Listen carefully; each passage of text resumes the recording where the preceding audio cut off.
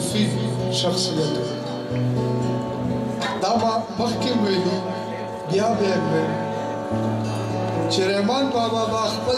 خوب کې د حضور صلی الله علیه وسلم دیدار کوم یو شپه دیدار نصیب نشو نو هغه دلته یو تجسس و چې وای ولې چې ساره پاسې نو सदा सिद्दीकी